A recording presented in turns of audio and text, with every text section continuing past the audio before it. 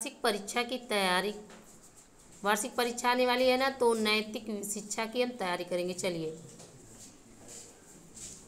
राष्ट्रीय ध्वज में कौन कौन सा से रंग होते हैं?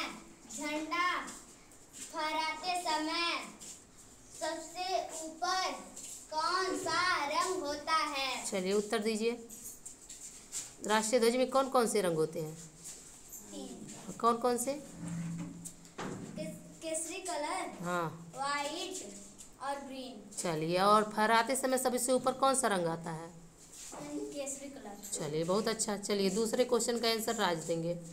पढ़िए क्वेश्चन दैनिक जीवन में पानी का उपयोग किन किन कार्य के लिए करते हैं? बताइए। पानी का आप कब कब उपयोग और कहाँ करते हैं?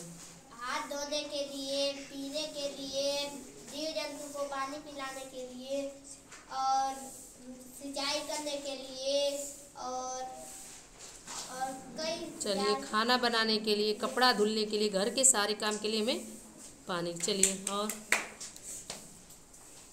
तीसरा दीप का। सड़क पर चलते समय यातायात के किन नियमों का पालन करना चाहिए। हेलमेट लगाना चाहिए।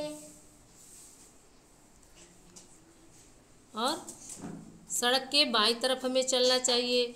जो ट्रैफ़िक लाइट दिखाई देता हमें। उसका पालन करना चलिए बहुत अच्छा। चौथा। विटामिन सी वक्त दो फलों के नाम लिखें। हम्म, आंवला नींबू। नींबू और आंवला संतरा भी है।